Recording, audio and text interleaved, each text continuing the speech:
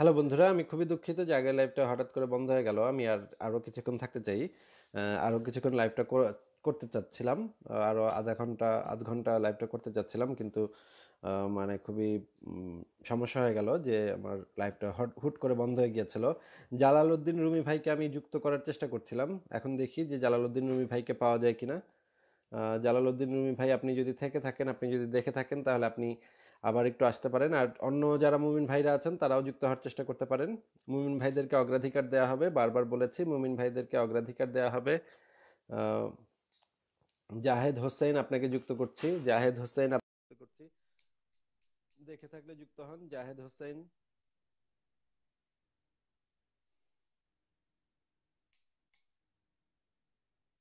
জাহেদ হোসেন, আপনাকে যুক্ত করেছি। দেখে থাকলে যুক্ত হন।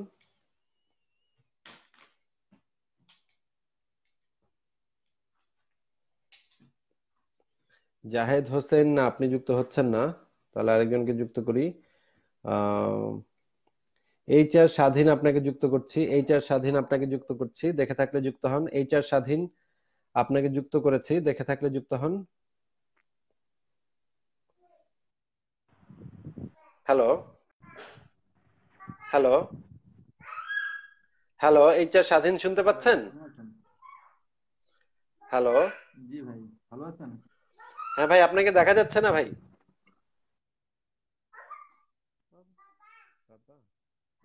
কেটে গেল। বাবা এমডি মিনহাজম মিনহাজম আপনাকে যুক্ত করছি। আপনার নামটা উচ্চারণ করা একটু ডিফিকাল্ট কি লিখেছেন বুঝতে পারছি না। মিনহাজ এটুক পর্যন্ত পড়া গেছে। এমডি মিনহাজ আপনাকে যুক্ত করেছি। দেখে থাকলে যুক্ত হন।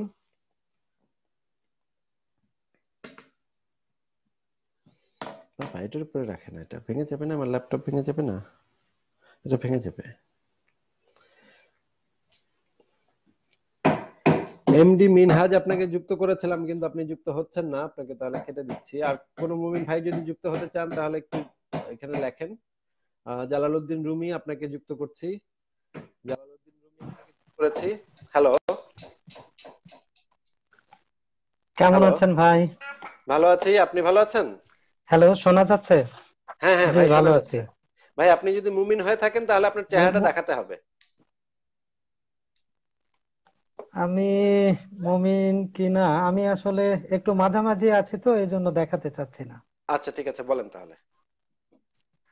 যে মুমিন ভাইয়ের সঙ্গে আপনি আলোচনা করলেন তাতে আপনি বুঝাইতে চাইলেন যে আল্লাহ হচ্ছে একজন পরিচালক একজন প্রযোজক একজন গল্প লেখক একজন পোশাক ডিজাইনার একজন মেকআপ ম্যান একজন এডিটর একজন ফাইট ডাইরেক্টর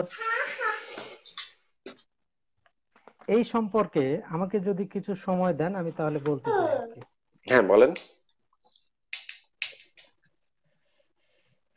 দেখেন প্রত্যেকটা প্রেক্ষাপটে অনুযায়ী কোরআনের কিন্তু বিভিন্ন আয়াত নাজিল হয়েছে যেটা আপনি বললেন যে ওমর চেয়েছে বিধায় পর্দার আয়াত নাজিল হয়েছে। যা আমি বলি নাই তো ভাই এটা সহি হাদিস বলতেছে। আচ্ছা আচ্ছা সরি সহি হাদিস বলতেছে। তো আমি ওই সহি হাদিস থেকেই বা কোরআন কীভাবে কোথা থেকে নাজিল হইল কোন কথার প্রেক্ষিতে একটু সময় দিলে আমি বলতে বলতাম আর কি। আপনি রেফারেন্স উল্লেখ করে বললেন যে এইটাই বলবেন রেফারেন্স উল্লেখ করে বললেন তাহলে শুনতে আমার সুবিধা হবে। হ্যাঁ বলেন। জি। আমি রেফারেন্স দিচ্ছি আপনার সূরা নাম্বার পঁচিশ আয়াত নাম্বার চার থেকে আট। বলেন। এই ঘটনা আগে আমি প্রেক্ষাপট প্রেক্ষাপটটা আগে বলছি। অতঃপর তারা কোনো মুসলমানকে দেখলেই বলতে লাগল তোমরা তো একজন জাদুগ্রস্ত ব্যক্তিকে অনুসরণ করছ। এরই প্রেক্ষাপটে এই আয়াতসমূহ নাজিল হয়। আয়াতটা কি? এ কেমন রসূল যে খাদ্য আহার করে এবং হাটে বাজারে চলাফেরা করে? তার কাছে কেন কোনো ফেরেশতা নাজিল হয় না? এই আয়াতটা নাজিল হচ্ছে কিন্তু কুরাইশরা যখন নবীকে এই অপবাদ দিচ্ছে তারপরে কিন্তু নাজিল হচ্ছে। আচ্ছা দুই নাম্বারটা আমি বলি একটু ছোট করেই বলছি। কুরাইশ সর্দার আখনাস ইবনে শরীফের সাথে পথে আবু জেহেলের দেখা হলো। আখনাস তাকে জিজ্ঞেস করল মোহাম্মদ ইবনে আবু তালিব সম্পর্কে তোমার ধারণা কি? আমাকে সত্য করে বলো। তাকে সত্যবাদী বলে মনে করো নাকি মিথ্যাবাদী? দেখেন ওই সময় কিন্তু কুরাইশরা তাকে সত্যবাদী বলে ওরে বাপরে সিদ্ধার্থ তো আমার কান পাঠাই দিচ্ছে। হ্যাঁ এটা কিছু করার নেই ভাই আচ্ছা। আমার কিছু করার নাই সে জি মানে জি আমি সারাদিন বিরক্ত করবে? আচ্ছা এখানে দেখেন হ্যাঁ হ্যাঁ সমস্যা নাই আমি তাতে খুশি আর কি। এখানে কোরআনের ছয় নাম্বার আয়াতের ছয় নাম্বার সূরার একশো চব্বিশ নাম্বার আয়াত কিন্তু এর প্রেক্ষিতে নাজিল হয়েছে। বলা হচ্ছে আমরা কখনোই মানব না যে পর্যন্ত না আমরাও তার প্রদত্ত হই যা আল্লাহ রসুল প্রদত্ত হয়েছেন। আল্লাহ এ বিষয়ে সুপরিজ্ঞ যে কোথায় স্বীয় পয়গাম্বার প্রেরণ করতে হবে? এর আগে একটু বলে নেই যে, কুরাইশ সর্দার আকনাক যখন আবু জেহেলকে বলল যে সে মিথ্যাবাদী না সত্যবাদী, সে বলতেছে যে নিঃসন্দেহে মোহাম্মদ সত্যবাদী। এখন আকনাক বলতেছে যে হাদিসে হাজিদের পানি পান করার গৌরবের কাজটি তোমাদের দখলে, কাবার প্রহরা চাবি তোমাদের করায়ত্তে নবীয়ত্ব তোমাদের হাতে ছেড়ে দিব, তখন কিন্তু এই ছয় নাম্বার সূরার একশো চব্বিশ নাম্বার আয়াত নাজিল হচ্ছে। আচ্ছা আচ্ছা। এরপরে দেখেন। আচ্ছা ভাই আমার এখানে আমার আচ্ছা হ্যালো ভাই এখানে আমার ইয়া আছে। আপনি বলতে যাচ্ছেন যে আল্লাহ পাক লাউহে মাহফুজে কোরআনটা পুরাটা আগে লিখে রাখছে। পরে হচ্ছে গিয়ে পরে হচ্ছে গিয়ে ঘটনা হচ্ছে পরে সুন্দর করে ঘটনা ঘটাইছে সুন্দর করে ঘটনা ঘটাইছে। করে সংলাপ সংলাপ দিয়েছে। সংলাপ দিয়েছে। এখন এখন মাঝখানে দেখা গেল যে এই যে আবুল আহাব যে ব্যক্তিটা ছিল আবুল আহাব একদিন মানে শুনলো যে নবী মোহাম্মদ ইসলাম প্রচার করা শুরু করছে মাত্র। আবুল আহাব। ওই দিনই ইসলাম কবুল করে আবুল আহাব থেকে আহ, মানে ইয়া হয়ে গেল মুমিন হয়ে গেল। তাহলে আল্লাহ পাক যে আগে থেকে যে সূরা লাহাবটা লিখে রাখছে সেটা তো মানে পুরাটাই ভেস্তে গেল পরিকল্পনা পুরা ভেস্তে গেল একদম মানে খারাপ অবস্থা। না আল্লাহ পাকের মান সম্মান নিয়ে ভেস্তে গেল না শুধু ভেস্তে গেল না আবুল আহাবের হস্তদ্বয় কিন্তু ধ্বংস হয়নি। হ্যাঁ হ্যাঁ সে প্লেগ রোগে মারা হয়নি। হ্যাঁ আল্লাহ যেখানে হও বলে। সব হয়ে যায় সেখানে কিন্তু আবুল আহাবের হস্তদ্বয় ধ্বংস হয়নি। আল্লাহ বলার ফায়াকুন বললে হয়ে যায়। হ্যাঁ। তাহলে দেখা যাচ্ছে যে এখানে একটা বিরাট ঘাপলা। আরও একটা বড় ঘাপলা হচ্ছে গিয়ে জি, জি। আল্লাহ পাক কিন্তু তাওরাত হচ্ছে। গিয়ে লিখে রাখছিলেন আদমকে সৃষ্টি করার চল্লিশ বছর আগে সহি হাদিসের বর্ণনা হ্যাঁ তাওরাতে আচ্ছা। মুসার উপরে কি নাজিল হবে সেটা আদমকে সৃষ্টির চল্লিশ বছর আগে আল্লাহ পাক লিখে রাখছে হুম, হুম। সহি হাদিস আমি আপনাকে দেখাই দিতে পারি সহি হাদিস সেখানে সহি হাদিসে বলা আছে আপনি যে হাদিসগুলো দেন রেফারেন্সে আমার কোনো সন্দেহ নেই কারণ দীর্ঘদিনের অভিজ্ঞতা আর কি আচ্ছা রেফারেন্স আমি এখনই আপনাকে দেখাই দিতে পারি কিন্তু আপনি নিশ্চয়ই জানেন যে হাদিসটা আমি অনেকবার বলেছি এই আদম এবং মুসার। বাদানুবাদ বিষয়টা এখন শয়তান যদি এখানে গিরিঙ্গিটা না করতো শয়তান যদি এখানে গিরিঙ্গিটা না করতো যে শয়তান আদম হাওয়াকে মানে। ফুসলায় এই যে ফল টল খাওয়ায় তারপরে এদেরকে গন্ধম ফল না খাওয়াইতো আর কি এদেরকে বিতাড়িত না করতো তাহলে কিন্তু আল্লাহর যে তাওরাত লিখে রাখছে সেটা তো পুরা পরিকল্পনা তো ভেস্তে যেত আল্লাহ আগে তো মানে মান সম্মান নিয়ে টানাটানি। হইতো। কোরআনও নাজিলের দরকার পড়তো না আবার ওই যে তাওরাতও নাজিলের দরকার পড়তো না যেটা মানে আদমের অনেক আগেই লিখে রাখছে। এখন লিখে রাখে মানুষ। কখন? যখন সে সমস্ত কিছু স্ক্রিপ্ট রাইট হয়ে গেছে সমস্ত প্ল্যান প্রোগ্রাম হয়ে গেছে তখন সে এটা লিখে রাখে তাই না? এখন আল্লাহ পাক দেখা যাচ্ছে যে আদমকে সৃষ্টির আগেই যদি তাওরাত লিখে রেখে থাকে মুসার উপরে কি নাজিল হবে মোহাম্মদের উপরে কি নাজিল হবে এগুলো যদি লিখে রেখে থাকে তাহলে তো পুরা ঘটনাটা হচ্ছে গিয়ে স্ক্রিপ্ট রাইটার যেটা আপনি বললেন আর কি স্ক্রিপ্ট রাইটার কাহিনী ডিরেকশন প্রোডাকশন সমস্ত কিছু এমনকি ওই যে ওইখানে যে একটা সিনেমা বানানোর সেটে যে চা নিয়ে আসে সে চা নিয়ে আসাটা লোকটা হলো আল্লাহ পাক নিজেই। সমস্ত কিছুই আল্লাহ পাক। করতেছে হুম। এবং আবুল লাহাব যদি সেই সময় পট করে মুসলমান হয়ে যেত তাহলে তো পুরো মানিজ্জত মারা যেত আল্লাহ পাকের এখন আল- আবু লাহাব যেন মুসলমান না হয় সেটার সমস্ত প্রক্রিয়া তো করে রাখছে আল্লাহ পাক তো এই জিনিসগুলা তো মানে খুবই হাস্যকর। তাহলে তো পুরা কাহিনীটাই বোঝা যায় যে পুরা কাহিনীটা খুবই হাস্যকর একটা কাহিনী। জি আচ্ছা আসিফ ভাই আমার চেহারা কি দেখা গেছে? না আপনার চেহারা আমি দেখি নাই চেহারা আপনি আচ্ছা আমি। আমি আরেকটা আরেকটা তথ্য দিতে চাচ্ছি। হ্যাঁ কুরাইশরা বলতেছে যে কোরআন যে মহান আল্লাহর বাণী এ সম্পর্কে কিছু কিছু কুরাইশ সন্দেহ পোষণ করত। তাদের সন্দেহের কারণ হলো কোরআনে মশা মাছির ন্যায় তুচ্ছ বস্তুরও বর্ণনা দেওয়া আছে। এখন এই হ্যাঁ। বর্ণনা হ্যাঁ এই বর্ণনা বলতেছে যে আল্লাহ নিঃসন্দেহে মশা বা তদূর্ধ্ব বস্তু দ্বারা উপমা পেশ করতে লজ্জাবোধ করে না। এটা হচ্ছে দেখেন দুই নাম্বার বাকারা হাদিসের ছাব্বিশ নাম্বার আয়াত করলেন দেখেন তাই পাবেন আপনি। এখন কোরাইশ যা যা বলতেছে আল্লাহ তারপর তাই তাই নাজিল করতেছে এটা আবার কেমন কথা ভাই? কুরাইশরা যখন পাগল বলছে তখন আল্লাহ পাক ওই পাগলের আয়াত নাজিল করছে। হে নবী তুমি পাগল না তুমি তো পাগল না তুমি তো পাগল না তুমি মন খারাপ করো না আমি তোমার সাথে আছি। তুমি মানে হতাশ হও না হ্যাঁ, বেশি। যখন আবার এতিম হ্যাঁ তখন যখন আবার এতিম বলছে বলছে যে তোমাকে আমি এতিম রূপে পাইছি না তোমাকে আমি ভালোভাবে রাখছি না। ঠিক আছে? আবার বুঝ দিছে আল্লাহ তাকে। আল্লাহ বুঝতেছে তো ওই যে ওই যে মুমিন ভাইটা মুমিন ভাইটা যে বলতেছে যে ওমর চাইলো আর হইল এরকম না গোজামিল দেওয়ার চেষ্টা করতেছে। আমার তো মনে হয় যে প্রত্যেকটা আয়াত সময়ের প্রেক্ষিতে মোহাম্মদ এবং কয়েকজন মিলে এটা লিখে রেখে গেছে এই কোরআন নামে গ্রন্থটা। যেই রকম যেরকম ঘটনা ঘটছে ঠিক সেরকম সেরকম আয়াত নাজিল হয়েছে। আবার হ্যাঁ। সবচেয়ে বেশি আয়াত আবার মানে মোহাম্মদের বিয়ে নিয়ে যে ঝামেলা গন্ডগোল বউদেরকে নিয়ে যে গন্ডগোল সেগুলো নিয়ে মানে সূরার পর সূরা নাজিল হয়েছে। দাসীর সাথে করবে কি করবে না সেটা নিয়ে সূরার পর সুরা নাজিল। মানে পালিত পুত্রের আচ্ছা। বিবিকে বিয়ে করবে কিনা সেটা নিয়ে সুরা। মানে আল্লাহ পাক সেই লাউহে মাহফুজে এগুলো লিখে রাখছে মানে সিরিয়াসলি মানে হাস্যকর। আচ্ছা আরিফ ভাই, সবচেয়ে গুরুত্ব দেয় মুমিনরা নামাজের উপরে, এখন নামাজ কোন সূরার সঙ্গে কোন সূরা পড়ব? রুকু কয়টা হবে, সেজদা কয়টা কয়টা হবে? সেটা না লিখে রেখে আল্লাহ নবীর বিয়ের উপরে এত ইন্টারেস্ট কেন? ভাই, এটা আপনি একটু যদি বলতেন আমাকে। সেটা তো অবশ্যই যে একটা অত্যন্ত গুরুত্বপূর্ণ বিষয়। তার থেকেও গুরুত্বপূর্ণ বিষয় হচ্ছে ভাই দাস প্রথা পৃথিবীতে তখন ভয়ঙ্কর ভাবে দাস প্রথা প্রচলিত। এখন আমি যদি আল্লাহ পাক হইতাম আমি সবার আগে তো মোহাম্মদরে আচ্ছা বলতাম আচ্ছা। এই মোহাম্মদ হুম, তুই আজকে দাস প্রথা নিষিদ্ধ কর এই দাস প্রথা ভাই পৃথিবীতে চলতে পারবে না। আমি হচ্ছি মালিক তোরা সব দাস আমার তোরা আমার দাস। আর কোনো দাস নাই। মানুষের কোনো দাস থাকতে পারবে না। মানুষের শুধুমাত্র মালিক থাকবে একমাত্র আমি আর মানুষের মানুষে মানুষের কোনো ভেদাভেদ নাই। এইটা তো আমি সর্বপ্রথম সূরা নাজিল করতাম মুহাম্মদের উপরে। যে এই যে নে তোর একটা সূরা দিলাম এই একটা সূরাই তুই মানে পুরো পৃথিবীতে প্রচার কর আগে। দেখ কি ঘটনা ঘটে। ভাই সবচেয়ে জরুরি জরুরি বিষয়গুলো নিয়ে কোনো কথা নাই। দাসীর সাথে কীভাবে করবে এটা নিয়ে সূরার পর সূরা সূরার পর সূরা। তারপরে পালিত পুত্রের স্ত্রীকে কীভাবে বিয়ে করবে এটা নিয়ে সুরা।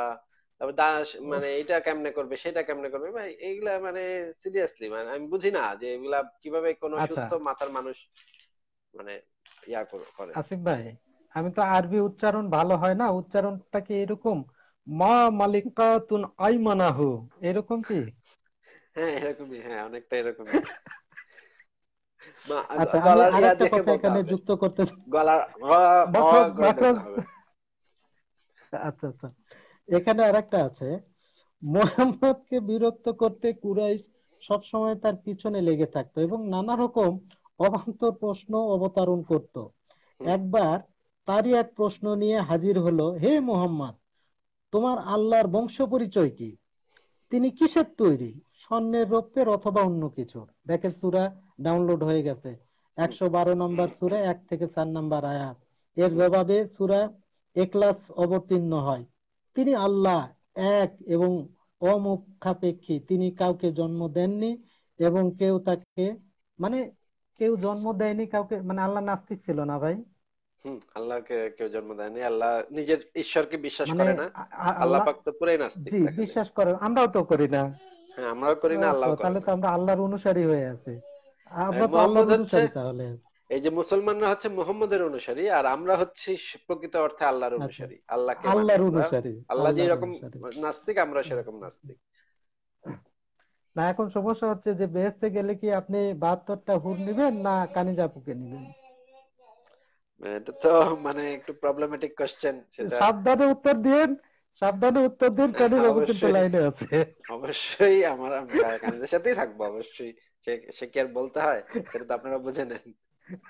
তাহলে তো তাহলে তো আপনি আল্লাহর বিধান লঙ্ঘন করতেছেন। সে মাঝে মাঝে একটু এদিক ওদিক তাকা কেন? মাঝে মাঝে একটু এদিক ওদিক তাকাতেও পারি কিন্তু ভাই আমার তো মাথা একটাই। এই এই- এইটা জাস্ট জাস্ট এইটুকু রেকর্ড করে আমি পাঠাই দিব জায়গা আচ্ছা আচ্ছা।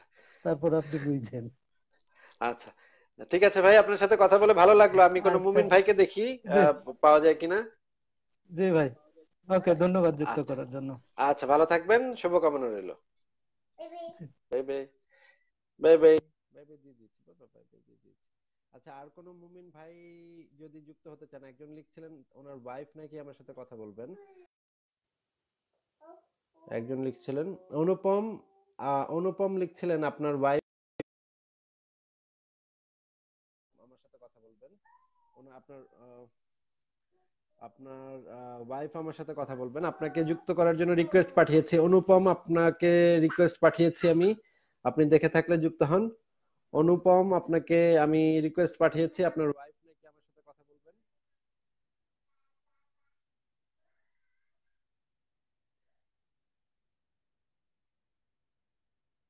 অনুপম, আপনাকে আমি রিকোয়েস্ট পাঠিয়েছি, আপনি দেখে থাকলে যুক্ত হন।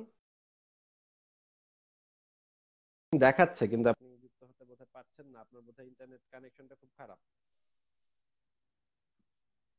না, অনেকক্ষণ হয়ে গেল, আপনাকে কানেক্টিং দেখাচ্ছে, কিন্তু আপনাকে আসলে যুক্ত করা যাচ্ছে না। এমডি মামুন খান, আপনাকে যুক্ত করছি। না, আপনি ইমদাদুল হক, আপনাকে যুক্ত করছি। ইমদাদুল হক করছি।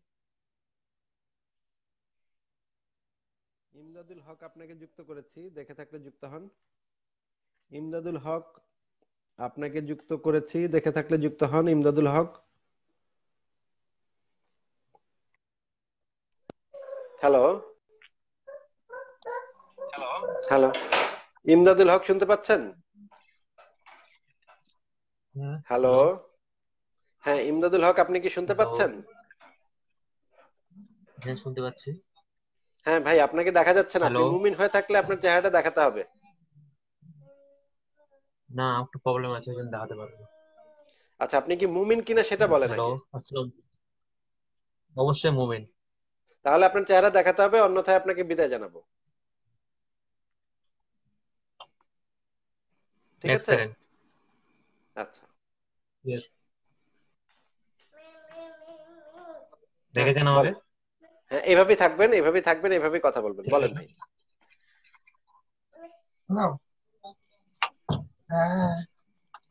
হ্যালো ভাই, আপনি আবার সরায় ফেলতেছেন কেন? আপনি আবার ক্যামেরা সরায় ফেলতেছেন কেন? আপনাকে তাহলে বিদায় জানাচ্ছি ভাই, আপনার সাথে কথা বলার টাইম নেই, আপনি জুলফিকার আলী আপনাকে যুক্ত করছি। জুলফিকার আলী আপনাকে যুক্ত করছি, দেখে থাকলে যুক্ত হন। জুলফিকার আলী আপনাকে যুক্ত করেছি, দেখে থাকলে যুক্ত হন। হ্যালো হ্যালো জুলফিকার আলী শুনতে পাচ্ছেন? আসসালামু আলাইকুম। আপনার উপরে শান্তি বর্ষিত হোক জুলফিকার আলী আপনাকে দেখা যাচ্ছে না। হ্যাঁ ভাই ভালো আছি আপনাকে দেখা যাচ্ছে না ঠিকভাবে? আমি হ্যাঁ বুঝতে পারছি ভাইয়া। হ্যাঁ। আমি আলোর সংকটে আছি তো। আচ্ছা আচ্ছা বলেন ভাই আমি অনাকাঙ্ক্ষিত ভাবে জয়েন্টটা পেয়ে গেলাম আর কি। আচ্ছা অনাকাঙ্ক্ষিত ভাবে জয়েন্টটা পাইলাম এই জন্য অসংখ্য ধন্যবাদ। আপনি আমাকে জয়েন করে নিলেন। হ্যাঁ বলেন। আসলে আমি অ্যাকচুয়ালি মুমিন না কিন্তু মানে ইয়েটা পেয়ে গেলাম তো ছবিটা এসে গেল আর কি। আচ্ছা আচ্ছা। হ্যালো কিছু কি আপনার কি কোনো কথা আছে? কথা না থাকলে তাহলে আমি আপনাকে বিদায় জানাব। যদি আপনার কোনো আলোচনা না থাকে আপনি যদি ব্যস্ত থাকেন তাহলে। আমি একটু একটু লাইনে থাকেন এক মিনিট। হ্যালো ভাইয়া। হ্যাঁ হ্যাঁ। শুনতে পাচ্ছেন আপনি আমার কথা? হ্যাঁ হ্যাঁ শুনতে পাচ্ছি ভাই বলেন। হ্যাঁ বলছি অনাকাঙ্ক্ষিত ভাবে পেয়ে গেলাম আপনাকে হ্যাঁ? আচ্ছা ভাই আপনার যদি সেরকম কিছু বলার না থাকে তাহলে আপনাকে তাহলে বিদায় জানাই। আপনি যদি কিছু বলতে চান তাহলে সেটা বলেন ভাই। দু মিনিট দু তিন মিনিট কথা বলব আপনার সাথে। হ্যাঁ। আচ্ছা আচ্ছা বলেন। আমি আলোর কাছে যাচ্ছি আলোর কাছে গিয়ে আপনার সাথে কথা বলছি। এক মিনিট এক মিনিট দশ মিনিট। আচ্ছা আচ্ছা আচ্ছা ঠিক আছে।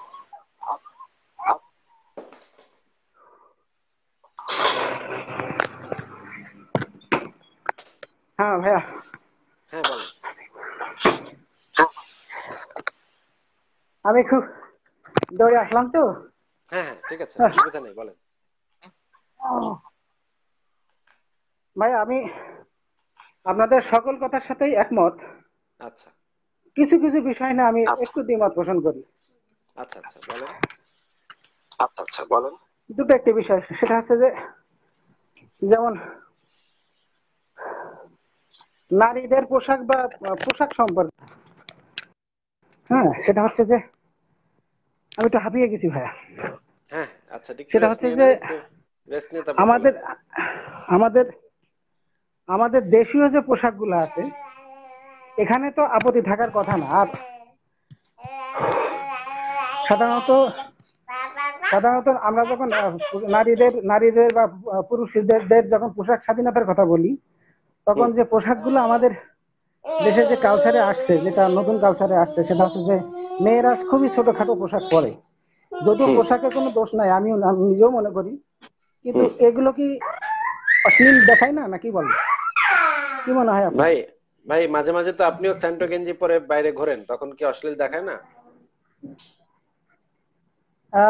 না আমি স্যান্ডো গেঞ্জি পরে আমি নর্মালি বেড়াই না বা বাইরে যাই না। কিন্তু কথা কেউ কেউ তো ঘোরে।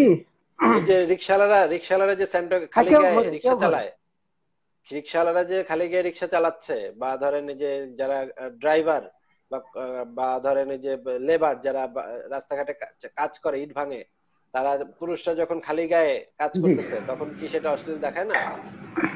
নাকি অশ্লীলতা শব্দটা শুধু মেয়েদের জন্য প্রযোজ্য?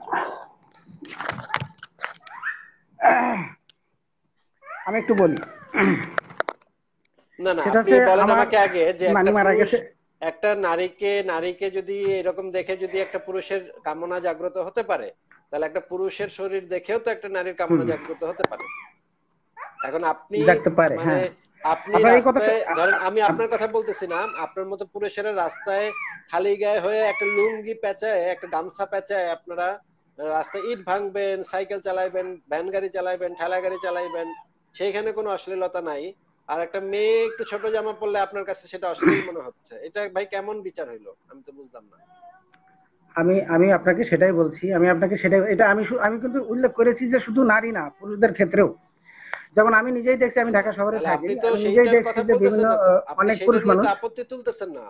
সেটা নিয়ে আপত্তি তো তুলতেছেন না। আপনি তাহলে রাস্তায় বের হয়ে হয়ে যে সমস্ত পুরুষরা খালি গায়ে রিক্সা চালাচ্ছে তাদেরকে একটা করে তাদেরকে ধরবেন ভাই, তাদেরকে বলবেন ভাই আপনি দেখেন ভাই আপনার খুব আপনাকে খুব অশ্লীল দেখায় আপনার এই যে খালি গা আপনার বুক দেখা যায় আপনার দুদু দেখা যায় আপনার কোমর দেখা যায় পেট দেখা যায় এগুলা দিয়ে দেখলে একটা নারী ইয়া হইতে পারে। আপনাকে ভাই একটা জামা দিলাম। আপনি জামা পরে এরপর থেকে চালাইবেন। ভাই গরমের ভিতরে একটা রিক্সাওয়ালা যখন রিক্সা চালাবে তখন সে স্বাভাবিক ভাবেই জামাটা খুলে ফেলবে। তাই এত গরমের ভিতরে তো রিক্সা চালানো কঠিন একজনের জন্য। যে বাসের ড্রাইভার যে যে ড্রাইভিং সিটে বসে ড্রাইভিং সিটে বসলে বাসটা অনেক গরম হয়ে যায় ওই জায়গাটা অনেক গরম থাকে তখন তার স্বাভাবিক ভাবে তার শার্টটা খুলে ফেলতে হবে। সে দরদর করে ঘামাইতে থাকে। এটা ভাই স্বাভাবিক ব্যাপার। এখানে কোনো অশ্লীলতার তো কিছু আমি দেখি না। তাই না? যে হচ্ছে মাটি হ্যাঁ, যে একজন শ্রমিক যে যখন মাটি নিয়ে মাথার উপরে এত ভারী বোঝা নিয়ে যাচ্ছে সে তার তো গরম লাগতেছে ভাই। এত গরমের ভিতরে পঁয়ত্রিশ ডিগ্রি ছত্রিশ ডিগ্রির ভিতরে সে এই কাজটা করতেছে সে তো দরদর করে ঘামতেছে। সে তো চাইবেই যে শার্টটা খুলে একটু বাতাস লাগাই গায়ের ভিতরে। এখন একটা পুরুষ যদি করতে পারে একটা নারী করলে আপনার আপনার মানে ইয়ার কিসের? আমি তো এটা বুঝতে পারলাম না। নাকি যৌনতা শুধু নারীর দিকে আছে আর পুরুষের কোনো ইয়া নেই? আচ্ছা সকলের আছে সকলেরই আছে। কিন্তু আমি আমি আমি বলতে চাচ্ছি কালচারের কথা। যেমন আমার বাঙালি কালচারে কিন্তু আমাদের আহ, এগুলো চলে না। যেমন আরে ভাই কালচার আমি কি। কালচার তো ছিল ভাই হিন্দুদের ভিতরে কালচার ছিল হচ্ছে সতীদাহ প্রথা কালচার ছিল। সতীদের আগুনের উপরে দিয়ে। পোড়ায় মেরা ফেলতো। এমনকি কালচার ধরে আমি বসে থাকব নাকি ভাই? কালচার ধরে বসে থেকে লাভ আছে। মানুষের যেটা মানে যেটা মধ্যে মানুষের ভালো হবে সেটা তো করতে হবে। কালচার ধরে কি বসে থাকতে হবে? সতীদাহ প্রথা বিধবাদের বিয়ে করানোটা বিধবাদের বিয়ে করানো যাবে না। এরকম কালচার ছিল ভারতে হিন্দুদের মধ্যে। হ্যাঁ এখন কি সেটা ধরে বসে থাকব নাকি? কালচার কালচার ছিল দেখা। তো কালচার এগুলা মানে ডেভেলপ করতে হবে না আমাদের দেখতে হবে না কোনটা সমাজের জন্য ভালো কোনটা মানুষের উপকার হচ্ছে কোনটা মানুষের মানুষ প্রগতিশীল হবে না মানুষের সমাজ ডেভেলপ করবে না মানুষের চিন্তা ভাবনা আরও জ্ঞান বুদ্ধি বিকশিত হবে মানুষ ডেভেলপ করবে তাই না? এখন একটা গরমের ভিতরে যদি ওটাও বোরখা পরে একজন হাঁটে বাংলাদেশের ভাই যে টেম্পারেচার একটা গরমের ভিতরে যদি বোরখা পরে মানুষ একটা মহিলা হাঁটে সে তো অসুস্থ হয়ে যাবে ভাই। এটা তো সম্ভব না একটা বোর- কালা বোরখা কালা বোরখাটা না আমি- আমি ভাইয়া কালা বোরখাটা আবার মানে হিট অ্যাবজর্ব করে মানে হিট সংরক্ষণ করে। মানে ভিতরটা মনে করেন পুরো দোজক হ্যাঁ। হয়ে যায়। একটা গরমের ভিতরে যদি কালা বোরখা পরে একজন মানুষ বের হয় ভিতরটা পুরোপুরি দোজকে পরিণত হয়। যেহেতু সে ভাই পৃথিবীতেই তার দোজক। বানায় দিতেছেন তারা তো পৃথিবীতেই তার জন্য দোজক বানায় দিল। তারপর সে দোজকে আর যাবে কি? দোজকেই কি আর বেহেস্তে তার কি? পৃথিবীটাই তো তার জন্য দোজক ভাই। এইভাবে তো হয় না ভাই। এখন আপনি বলতে পারেন যে মেয়েরা ছোট ছোট ড্রেস পরতেছে। ভাই এটা তো মেয়েটা সিদ্ধান্ত নেবে যে কে কি ড্রেস পরবে। আপনি সিদ্ধান্ত নেবেন আপনার কি ড্রেস আপনি পরবেন। কিন্তু আপনার ড্রেসের জন্য যদি আপনাকে আপনাকে আরেকটা দেখেন আপনাকে দেখে কিন্তু এই যে মাদ্রাসার যে শিক্ষকরা তারা কিন্তু ছেলেদের ছেলেদেরকে দেখলেও তাদের কামনা জাগে। এটা তো জানেন নিশ্চয়ই যে মাদ্রাসার শিক্ষকরা অনেক শিক্ষক হ্যাঁ ছেলেদেরকে অ্যাবিউজ করে। আপনাকে দেখে ধরেন এক মাদ্রাসার হ্যাঁ, শিক্ষকের জায়গা গেল। মাদ্রাসার শিক্ষকরা কিন্তু ছাগলও ছাড়ে না। ছাগলের ইয়া দেখলেও কিন্তু তাদের মানে মাথা খারাপ হয়ে যায় হ্যাঁ? এমনকি আপনি বলবেন ছাগলের পাশে একটা প্যান্ট পরাই দিব বা ছাগলের পাশে প্যান্ট পরাইতে হবে কুকুরের পাশে প্যান্ট পরাইতে হবে নাইলে এই যে হুজুরদের মাদ্রাসার হুজুরদের জায়গা যাচ্ছে কামনা জায়গা যাচ্ছে এগুলো কি ভাই? কি কথা ভাই? গরু ছাগল গরুদের প্যান্ট পরাইবেন ছাগলদের প্যান্ট পরাইবেন গরুর আবার যে মানে গরুর যখন দুধ দোয়ানোর মতো অবস্থা হয়, তখন তো আবার ওইখানেও কাপড় পরাইতে হবে। কারণ হুজুরদের তো এটা দেখেও মাথা নষ্ট হয়ে যেতে পারে ভাই। কি হুজুরদের তো, এখন ভাই কথা হচ্ছে গিয়ে মন মানসিকতা হ্যাঁ যাদের মন মন মানসিকতা পরিবর্তন তাদের মন মানসিকতা পরিবর্তন করতে হবে। জামা পরিবর্তন করে লাভ নেই ভাই। ইউরোপে আমি আসছি জার্মানিতে আমি দেখতেছি যে বিকিনি পয়রা মানুষ বাসে উঠতেছে কেউ ফিরাও তাকায় না ভাই। কারোর কোনো টাইম নেই। এগুলো দেখানোর মতো টাইমই নেই কারও সি বিচে ন্যাংটা হয়ে ঘুরতেছে মেয়েরা ছেলেরা কেউ তাকায় না ভাই। এটা হচ্ছে মন মানসিকতার ব্যাপার যে আপনার মন মানসিকতা কতটুকু। একটা সমাজ হ্যাঁ। তো ডেভেলপ করে উন্নত হ্যাঁ। হয়। হ্যাঁ? কিন্তু মন মানসিকতা খারাপ হলে ভাই আপনি বোরখা পরলে আপনার রেপ করে দিবে। বোরখা ধরেন বোরখা পরে হাঁটতেছে একটা মানে পুরুষের তো ওইটা ভাইবাও তো তার মানে কামনা জায়গা যেতে পারে তাই না? বোরখা দেখা যাচ্ছে সুন্দর বোরখা বোরখাটা তো খুব সুন্দর বোরখাটার কালারটা তো খুব সুন্দর এটা দেখেও তো একটা ব্যাটার জায়গা যেতে পারে তখন তো সমস্যা বাংলাদেশে ধর্ষণ যেগুলো খারাপ, হচ্ছে ভাইয়া ম্যাক্সিমাম তো মানসিকতা পরায় খারাপ তাকে তো আপনি বোরখা দিয়েও আটকাতে পারবেন না। তাই না? জি জি। এই যে এই যে আমাদের- তনু আমাদের, একটা মেয়ে, তনু একটা মেয়ে যে মারা গেল তনু একটা মেয়েকে যে ধর্ষণ করা হলো সে তো হিজাব পরতো বোরখা পরতো হিজাব পরতো তাকেও তো ধর্ষণ করা হয়েছে। এখন মানে আবার ছাগলও ছাগলকেও নাকি ধর্ষণ করে দিচ্ছে এক মাদ্রাসার হুজুর। আমি কয়েকদিন আগে পড়লাম পত্রিকায় ছাগলকে দর্শন করে দিচ্ছে ভাই ছাগল। ছাগলকে ছাগলের ইয়া দেখাও তোমাদের খারায় যায় ভাই। তোমাদের তোমাদের সমস্যা কি ভাই? তোমাদের তো মানে এটা তো ভয়ঙ্কর অবস্থা। হ্যাঁ এটা এটা এটা সত্য একদম সত্য। এবং আমার গ্রামে এমন এমন ঘটনা ঘটছে আমি নিজেও জানি। এটা আট থেকে আট দশ বছর আগে আমি নিজেও জানি। আসলে মন মানসিকতার আগে মানে সংরক্ষণ এই কি বলে সংস্কারের দরকার এটা সত্য। এখন কিন্তু পরে আমি আবার আবার দেখবেন একটু যে এখানে যে একটু, আহ, বাসে কোন- কোন- বাসের যে একটা পিছনে একটা ফুটা থাকে যে ফুটা দিয়ে গ্যাস বের হয় বাতাস বের হয় হ্যাঁ? ওইটা দেখেও দেখবেন কয়েকদিন পরে মোল্লাদের ইয়া হয়ে যাবে যে ওইটা দেখলে তাদের ইয়া হয়ে যাচ্ছে। তখন ওইটারও তারা রেপ করে দিতে পারে। এখন ভাই এদের তো মন মানসিকতা খারাপ। তাহলে বুঝতে হবে যে মন মানসিকতা খারাপ এদের মন। মানসিকতা ঠিক করতে হবে। নাহলে তো ভাই এরা কয়েকদিন পর ফুটা দেখলেই তারপরে ইয়া করা শুরু করবে। আমি ভাইয়া আমি আমি আপনার কথার সাথে একমত। আমি এগুলো এগুলো আমিও মনে করি। কিন্তু আমি বলছি যে আমাদের আমাদের তো একটা কালচার আছে। আমরা বাঙালি আমাদের একটা কালচার প্রত্যেকটা জাতিরই নিজস্ব নিজস্ব কিছু কালচার আছে। আমাদের যেমন শাড়িটা আছে শাড়িটার প্রতি তো বাধা নেই। আমি কিন্তু অ্যারাবিয়ান কালচারের বিরোধী। অ্যারাবিয়ান বোরখা বা ও সাত পাশে এগুলো আমি বিরোধী। এবং ওই যে টাকনোর নিচে টাকনোর উপরে কাপড় পরা এসব এগুলো আমি সম্পূর্ণ বিরোধী। আমি লুঙ্গি লুঙ্গি এবং আমি পাঞ্জাবি পরতে চাই। বা আমার মাকে বা আমার বউকে আমি শাড়ি এবং আর অন্যান্য যেগুলো আছে এগুলো পরা চাই। আমার বাঙালি কালচারে যেগুলো শুট করে বা যেগুলো অ্যালাউ করে। আমি মনে করি এগুলো যথেষ্ট যথেষ্ট সুন্দর শালীন শালীন পোশাক। হ্যাঁ আপনার মানে ফ্যামিলির মেম্বারদের সাথে আলোচনা করতে পারেন যে এই পোশাকটা পরলে তোমাকে ভালো লাগে। কিন্তু তার উপরে চাপাই দিয়েন না। সে যেন নিজের সিদ্ধান্তটা নিজে নিতে পারে। অবশ্যই না অবশ্যই না। সে যেন তাকে কোনটাতে ভালো লাগবে সে কোনটাতে ফ্রি ফিল করবে কোনটাতে ইজি ফিল করবে সে যেন সেটা পরে। হ্যাঁ আপনি তার সাথে কথা বলতে পারেন এটা পড়লে ভালো লাগে সেটা পড়লে ভালো লাগে এটা বলতে পারেন। কিন্তু যখন ব্যাপারটা প্রেসার ক্রিয়েট আমি আমার হুম আমরা সেটার বিরোধিতা করতেছি যখন প্রেসার ক্রিয়েট হচ্ছে। আপনি তখন যখন কাউকে বাধ্য করতেছেন পড়তে এই তুমি এটা পড়বা না ওইটা পড়বা। ভাই এটা তো তার সিদ্ধান্ত সে নিবে তাই না? হুম হুম অবশ্যই।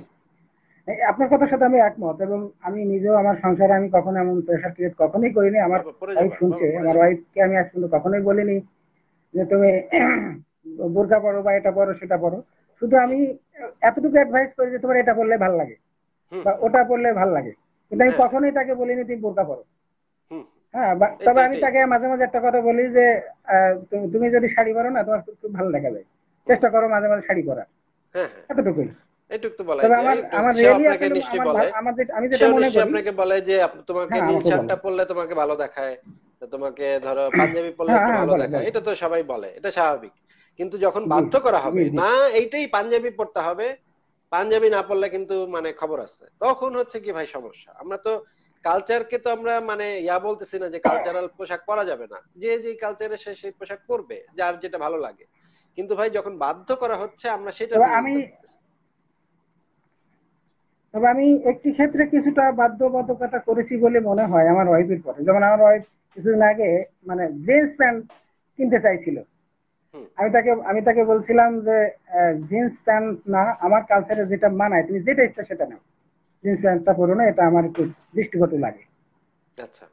কিন্তু এটা তো মানে তার যদি ইচ্ছা করে জিন্স প্যান্ট পরে কিন্তু অনেক ইজিলি কাজ কাজকর্ম করা যায় হ্যাঁ? শাড়ি পরে কিন্তু এত ইজিলি যেমন ধরেন আপনি দ্রুতগামী বাসে উঠবেন ঢাকা শহরে বাসে উঠবেন আপনি শাড়ি পরে কিন্তু আপনি। জীবনে কোনোদিন বাস দৌড়ায় দৌড়ায় ধরতে পারবেন না। বাস ফসফস করে চলে যাবে এবং আপনি শাড়ি পরা থাকলে আপনি শাড়ি পেঁচায় মানে রাস্তাতেই পইরা একদম মেরে যাবেন। টায়ারের নিচে চলে যাবেন আপনি হ্যাঁ।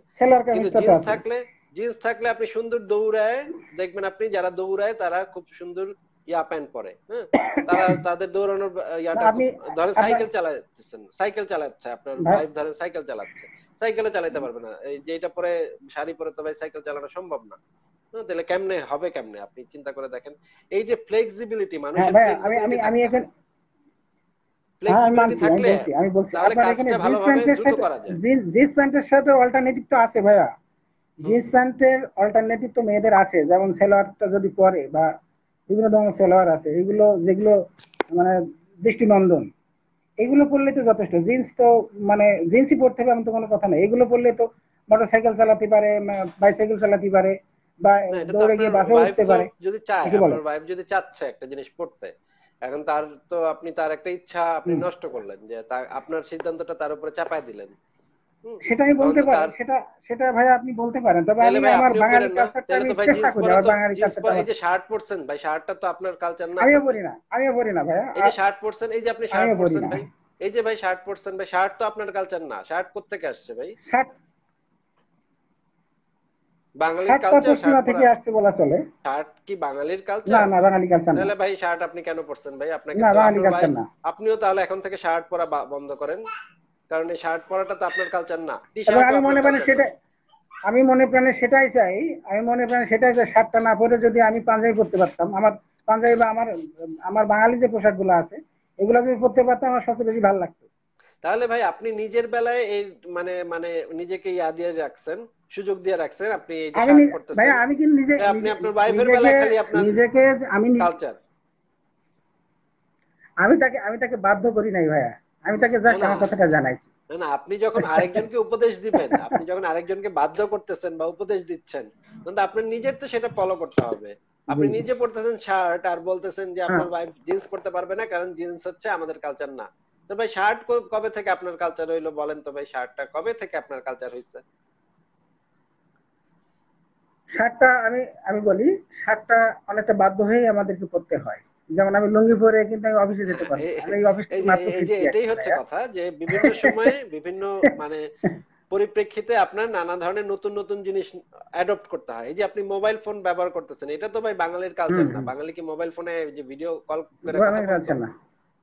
এটাও বাঙালির কালচার না। নতুন অ্যাড হয়েছে এটা। নতুন অ্যাড হইলে হইলে এখন যদি আপনি বলেন আমি মোবাইল ফোনে বন্ধুদের সাথে কথা বলতে পারব কিন্তু আমার বউ এটা করতে পারবে না কারণ আমাদের কালচার না। তো ভাই এটা কেমন কথা হইল ভাই? আপনি নিজেই যে অধিকারটা ভোগ মানে এটা এটা আমি কখনোই বলি না। এটা আমি আপনার কথা বুঝতে পারছি। এই উদাহরণ ধরনের দিলাম। আচরণটা শুধুমাত্র উদাহরণ দিলাম আপনাকে যে এই যে মানে এই যে মানে জিন্স প্যান্ট পরার ব্যাপারটা নিয়েই উদাহরণটা দিলাম। এইরকম যদি আপনি অন্যান্য ক্ষেত্রে ব্যবহার করতে শুরু করেন যে মোবাইল ফোনটা আমি ভিডিও কল করে বন্ধুদের সাথে আড্ডা দিব কিন্তু তুমি করতে পারবে না কারণ এটা আমাদের কালচার না। মেয়েরা এটা করলে খারাপ দেখায়। তখন তো ভাই এটা মানে আমার কাছে মনে হচ্ছে যে সমান অধিকারটা প্রতিষ্ঠা হলো না। যেটা আপনি করবেন আপনারও যতটুকু অধিকার মানুষ হিসেবে তারও ঠিক ততটুকু অধিকার তারও ঠিক ঠিক ততটুকু সম্মান ভাই। এখন তো সমান মর্যাদা সমান অধিকার তো প্রতিষ্ঠা করতে হবে। এটা তো কিছু করার নেই ভাই। এখন যদি আপনি চান যে আপনার ওয়াইফ না পড়ুক জিন্স না পড়ুক তাহলে তো ভাই আপনার শার্ট এবং প্যান্ট দুইটাই ছেড়ে দিতে হবে বেল্টও ছাড়তে হবে জুতাও ছাড়তে হবে। আপনার ওই যে আগের কালে যে স্যান্ডেল পরতো বাঙালি যে স্যান্ডেল চটি জুতা চটি জুতা পরতো খটখট করে শব্দ হয় হাঁটলে যে খরম বলে ওইটারে ওইটা পরে অফিসে যেতে হবে তাহলে তো ভাই উপায় নেই এটা আপনি করেন তাহলে। যদি কালচার মেনটেন আমি হ্যাঁ সংস্কার সংস্কার দরকার আছে সংস্কার তো দরকারই আছে কিন্তু আচ্ছা। সংস্কারের সাথে কি আমার ঐতিহ্যটা কি শেষ হয়ে যাবে? ঐতিহ্যটা শুধুমাত্র কেন আপনার ওয়াইফ কি কেন আপনার ঐতিহ্যটা ধরে রাখতে হবে? ভাই আপনি একটু আমার ওয়াইফের জন্য বলছি না তো ভাইয়া আমার ওয়াইফের জন্য বলছি না। আমি কিন্তু নিজেও নিজেও আমার বাঙালি কালচারের যে পোশাকগুলো আছে আমি কিন্তু পরি ব্যবহার করি। হ্যাঁ হ্যাঁ আপনি একটা খরম কেনেন খরম কিনে অফিসে যান ভাই তাহলে তো ঐতিহ্যটা ভালোভাবে রক্ষা পাইলো তাই না? আচ্ছা ভাই আপনার সাথে কথা বলে ভালো লাগল। আপনি যথেষ্ট প্রগতিশীল মানুষ আমি বুঝতে পারতেছি কিন্তু তারপরেও আপনি একটু একটু আপনার খটখটা থেকে যাচ্ছে যে আপনি একটু একটু মানে আটকে আটকে যাচ্ছেন জি যে আপনার আপনি এটা মানে সহজভাবে নিতে পারতেছেন না যেটা হচ্ছে গিয়ে এটা স্বাভাবিক ভাই। এটা আমারও অনেক বছর হয়েছে যে আমি মনে করতাম ছেলে মানুষ তো করতেই পারে একটু মেয়ে মেয়েরা কেন করবে? এটা আমারও অনেক অনেক আগে অনেক বছর আগে এরকম মনে হতো একটু একটু। কিন্তু পরে আমি আস্তে আস্তে এই জিনিসটাকে ওভারকাম করছি। আমিও মনে করি আপনিও কিছুদিনের মধ্যে এই জিনিসটা ওভারকাম করতে পারবেন যে ঐতিহ্য যদি রক্ষা করতেই হয় দুইজনেরই রক্ষা করা উচিত। তাই দুইজন মিলে মিশে রক্ষা করেন। আর যদি রক্ষা না মানে যদি আপনি আপনি একটু অধিকার পান তাহলে আপনার ওয়াইফেরও সেই অধিকারটা থাকা উচিত। এইটুক আমি বলতে চাই আর কি পুরা মানে কথায়। জি জি জি। বুঝছেন তো ভাই আমি আরেকটা অন্য প্রসঙ্গে আরেকটা তবে তবে আপনারা আপনারা ব্যক্তিগত পারিবারিক জীবনে কি পড়বেন না না পড়বেন সেটা নিয়ে ভাই আমি তো মানে হস্তক্ষেপ করতে পারি না এটা আমার বিষয় না। জি জি অবশ্যই। মতামত জানাইলাম যে যদি মানে দুইজনেরই সমান সমান অধিকার থাকা উচিত। কারণ দুইটা মানে মানে বন্ডিং তৈরি হয় একটা ভালো বন্ডিং তৈরি হয় দুইজন যদি সমান ভাবে কাজ করে। হ্যাঁ একটা দেশ ভালোভাবে অগ্রগতি হয় যদি নারী পুরুষ মিলিত ভাবে যদি কাজ করে তখনই একটা দেশের মানে প্রকৃত অগ্রগতি হ্যাঁ। এক- এক- এক দলের যদি সম্মান না থাকে অধিকার না থাকে তাহলে কোনো রাষ্ট্রের বা অর্থনীতির এসব কথার সাথে আমি সম্পূর্ণ একমত। আপনার সাথে আমার কোনো দ্বিমত নাই। হ্যাঁ। এসব কথার সাথে আপনার সাথে আমার কোনো দ্বিমত নাই। হ্যাঁ? ভাই আমি আরেকটা প্রশ্ন করব অন্য প্রসঙ্গ। হ্যাঁ হ্যাঁ বলেন। কিছুটা ধর্ম রিলেটেড এটা। আচ্ছা বলেন। সেটা হচ্ছে যে আমি বিভিন্ন মাওলানা বা হুজুরদের মুখে শুনেছি যে আল্লাহর কাছে যদি কোনো কিছু চাওয়া হয় এবং একই চাওয়াটা যদি দশজন মুমিন চায় তাহলে আল্লাহ নাকি একজন অন্তত একজনের দোয়াটা কবুল না করে পারে না। এমন নাকি আয়াত আছে বাবা আমি অত জানি না। এমন নাকি হ্যাঁ বলেন আপনি বলেন। হ্যাঁ আপনি বলেন। হ্যাঁ ভাই শুনছি আপনি বলেন। হ্যাঁ। হ্যাঁ, এই কথাটা এই কথাটা কতটুকু সত্য আমি জানি না। আমি কোরআন সম্পর্কে অত আমার ইয়ে নাই। তবে কোরআনের বাংলাটাই মোটামুটি পড়ার চেষ্টা করি। বাংলাটা আছে আমার কাছে মানে পিডিএফ ফাইলে মোটামুটি চেষ্টা করি। কিন্তু আমার প্রশ্ন হচ্ছে আমার প্রশ্ন যে এটা এই কথাটা যদি সত্য হয় এবং এর সম্পর্কে আরও আয়াত আয়াত বা আরও ইসলামিক বক্তব্য আছে সেটা হচ্ছে যে আল্লাহর কাছে কোনো কিছু চাইলে বা কাবা ঘরে গিয়ে কোনো কিছু চাইলে আল্লাহ নাকি ফেরত মানে শূন্যতে ফেরায় না এমন এমন গল্পও আছে। প্রশ্ন আচ্ছা। হচ্ছে কি আজ আটাত্তর বছর ধরে ইসরায়েলের বিপক্ষে মুসলমানরা বা আমরা যারা আছে আমি নিজেও করেছি এ ধরনের দোয়া। কিন্তু আল্লাহ কি কানে শুনে শুনতে পাচ্ছেন না? না আসলে কি বলব আল্লাহ ভাই ইসরায়েলের পক্ষে যোগ দিচ্ছে ভাই। এই আটাত্তর নাহলে তো আটাত্তর বছর আল্লাহ পাক আল্লাহ পাক ভাই ইসরায়েলের পক্ষে যোগ তাই যদি আল্লাহ যদি আল্লাহ আল্লাহ যদি ইসরায়েলের পক্ষে হয় তাহলে আমি তো মনে করি আমরা যদি আল্লাহর আল্লাহর উন্মত হয়ে থাকি কি বলে আল্লাহর অনুসারী হয়ে থাকি তাহলে আমাকেও ইসরায়েলের পক্ষে যেতে হবে। হ্যাঁ সৌদি আরব যাচ্ছে। সৌদি আরব এখন ইসরায়েলের পক্ষে যাচ্ছে ধীরে ধীরে ইসরায়েলের পক্ষে চলে যাচ্ছে সৌদি আরব। এবং এখন মুসলিম দেশগুলোও ধীরে ধীরে ইসরায়েলের পক্ষেই যাবে আর কি আলটিমেটলি কোনো উপায় নেই। কারণ ভাই এই যে এই সমস্ত আল্লাহর ক্ষমতা এই যে আবাবিল পাখি পাঠায় যে মাইরা ফেলে হাতির দলের মাইরা ফেলে এগুলো ভাই সবই গাল গপ্প আল্লাহর যদি এতই আবাবিল পাখি থাকতো তাহলে তো ইসরায়েলের পাঠায় দিয়ে ধ্বংস করে দিতে পারে এটা হচ্ছে না। এগুলো ভাই হাস্যকর কথাবার্তা। জি জি। এগুলো এখন সত্য, এগুলো এখন হাস্যকর আরেকটা ব্যাপার হচ্ছে কি? আরেকটা ব্যাপ- ব্যাপার হচ্ছে যে মুসলমানরা দীর্ঘদিন মানে ক্রিয়েটিভিটি না থাকার কারণে মানে মুসলমানদের মধ্যে ক্রিয়েটিভিটি না থাকার কারণে মানে এত দূর পিছিয়ে গেছে, এতটা দূরে পিছিয়ে গেছে এরা যে নতুনত্বকে এরা সহ্য করতে পারে না। আর নতুন মানে নতুন সৃষ্টিশীলতা গুলোকে এরা সহজে গ্রহণ করতে পারে না। যার কারণে এরা প্রচলিত বা উন্নত প্রযুক্তি বা উন্নত সংস্কৃতি থেকে অনেক পিছিয়ে অনেক পিছিয়ে। যার কারণে ছোট্ট একটা ছোট্ট একটা আমাদের দেশে একটা জেলার থেকেও ছোট একটা রাষ্ট্র ইসরায়েল। ইসরায়েল মধ্যপ্রাচ্যে শুধু নয় বিশ্বে বিশ্বকে হাতের মধ্যে করে রাখে ওরা পৃথিবী ওরা ওরা তো ফুটবল খেলা করে না ওরা পৃথিবীটাকে নিয়ে খেলা করে। হ্যাঁ সেটাই হ্যাঁ। সেটাই হচ্ছে কথা। যারা হচ্ছে নিজের মেধা যোগ্যতার উপরে ভরসা করে তাদেরকে কেউ আটকাইতে পারে না। আর যারা হচ্ছে কি আল্লাহর ভরসা থাকে, তাদেরকে কেউ মানে টাইনা উঠাইতে পারে না। তারা ওই গাড়ার ভিতরে পড়ে থাকে। ওটা উঠাতে পারবে না হ্যাঁ। হুম। এইগুলোই কথা এইগুলোই ভাইয়া। তবে আপনার সাথে আমার কথা বলে খুব ভালো লাগল, আমার খুব ইচ্ছা ছিল। গত কয়েকদিন আপনাকে আমি রিকোয়েস্ট দিচ্ছি বাট আপনি অ্যাড করেননি, সেটা আপনি মানে আপনার অপারগতা আর কি। অপারগতা বলতে মানে সময়ের কারণে হয়তো পারেননি। তবে আজকে অনাকাঙ্ক্ষিত ভাবে হয়ে গেছে, আমি খুলে দেখলাম আপনি লাইভে এসেছেন। আমি অ্যাড দেওয়ার সঙ্গে সঙ্গে মানে জয়েন্ট হয়ে গেলাম বুঝলেন? আচ্ছা আচ্ছা। যার কারণে আমি খুবই ভালো লাগল। মানে প্রস্তুত ছিলাম না খুবই ভালো লাগল কথা বলে আপনার সাথে। আমি আপনার মেয়ে খুব খুবই খুশি হলাম এবং আপনার জন্য শুভকামনা রইল। আমি দেখি আর শেষে একজন মুমিন ভাইকে পাই কিনা। আর আপনার আপনার আপনার লাইভগুলো আমি কোন কোন লাইভটা আমি পাঁচ সাতবারও শুনি। এবং আমার একটা বড় অভ্যাস হয়ে গেছে। সেটা হচ্ছে আমি ঘুমাইতে ঘুমাইতে মানে যখন ঘুমিয়ে যাই বা শুয়ে যাই তখন আপনাদের লাইভটা চালু করে কানের মধ্যে দিয়ে ঘুমিয়ে যাই। মানে আচ্ছা আচ্ছা। আপনারা আমার জন্য এখন ঘুমে ঘুমের ঘুমের উপকরণ হয়ে গেলেন আর কি। মানে আচ্ছা। আমি কোনো কোনো ভাই। যে পাঁচ হ্যাঁ। সাতবারও শুনি। আচ্ছা আচ্ছা।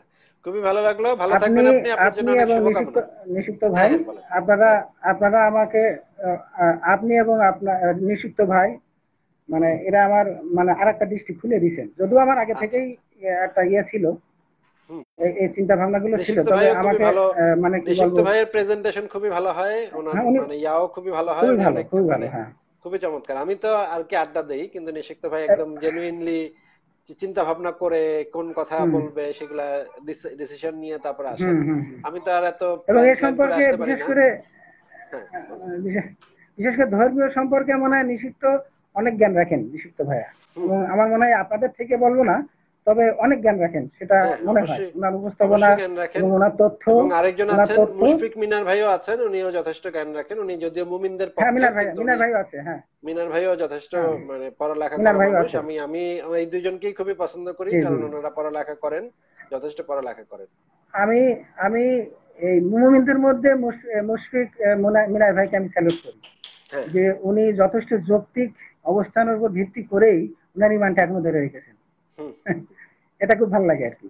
মানে এমন হতে হবে আমাদের এমন সৃষ্টিশীল হতে হবে এমন ক্রিয়েটিভিটি হ্যাঁ। হতে হবে। হ্যাঁ। তাহলে আমরা আগাইতে পারব না। ঠিক বলেছেন ভাই অনেক ধন্যবাদ আপনাকে ভালো আর আপনি আরেকজনকে আরেকজনকে অ্যাড করেন। আচ্ছা ঠিক আছে ভালো থাকেন। থ্যাংক ইউ বলে দিচ্ছি বাবা আর কোনো মুমিন ভাই যদি যুক্ত হতে চান আমি আর বেশিক্ষণ থাকব না আর দশ পনেরো মিনিট থাকব। আর কোনো মুমিন ভাই যদি হাসান যুক্ত হতে চাচ্ছেন আপনাকে যুক্ত করছি। আলিম হাসান আপনাকে যুক্ত করেছি। দেখে থাকলে যুক্ত হন।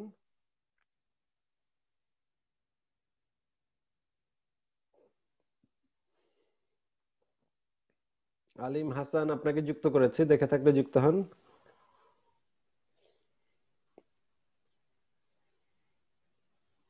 না, আলিম হাসান যুক্ত হচ্ছেন না। আর কোনো মুমিন ভাই যদি যুক্ত হতে চান, তাহলে একটু কমেন্টে লেখেন।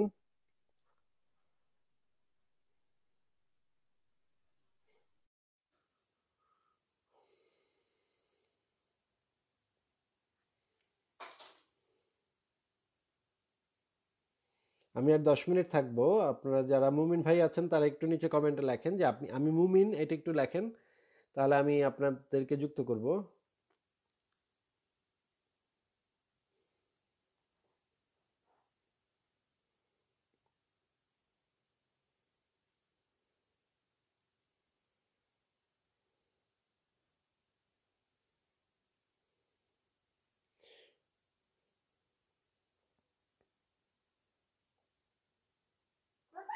বাবা? বাবা? বাবা? না, আর কোনো মুমিন ভাইকে দেখতে পাচ্ছি না। মুমিন ভাইরা যদি লিখতেন এখানে, তাহলে আমি যুক্ত করতে পারতাম, কিন্তু মুমিন ভাইরা তো লিখছেন না এখানে। আচ্ছা আলিফ, উনি যুক্ত হতে চাচ্ছেন, দেখি। মাহফুজুর রহমান আলিফ, আপনাকে যুক্ত করেছি। দেখে থাকলে যুক্ত হন। তবে এটাই শেষ, আর বেশিক্ষণ থাকব না। মাহফুজুর রহমান আপনাকে যুক্ত করেছি। হ্যালো? মাহফুজুর রহমান আলিফ শুনতে পাচ্ছেন? হ্যালো জি ভাইয়া। আচ্ছা। জি হ্যাঁ ভাই ভাইয়া শুনতে পাচ্ছি। হ্যাঁ ভাই বলেন।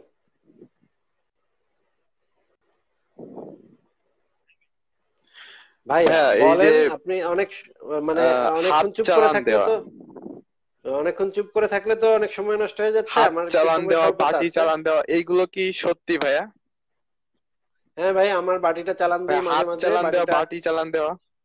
হ্যাঁ, অবশ্যই সত্যি আমি বাটি চালান দিই মাঝে মাঝে বাটিটা মানে সুপার মার্কেটে চলে যায় তারপরে যে জিনিসপত্র নিয়ে চলে আসে আমার একটা বাটি আছে জাদুর বাটি।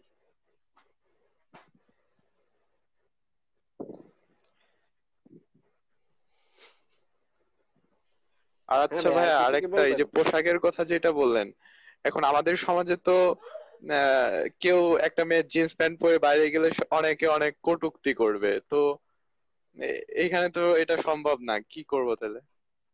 মানে কটূক্তি একজন যদি কটূক্তি করে তাহলে সেই দোষটা কার? ধরেন আপনাকে আমি গালি দিলাম। তাহলে দোষটা কার? আপনার নাকি আমার?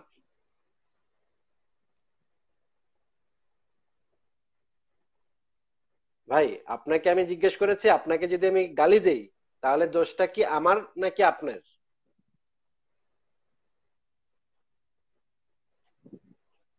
ভাই আপনি কি শুনতে পাচ্ছেন? আপনার। আচ্ছা যদি আমার দোষ হয়ে থাকে তাহলে এটার শাস্তিটা কার উপরে প্রযোজ্য হবে? আপনার উপরে নাকি আমার উপরে? আপনার আপনার।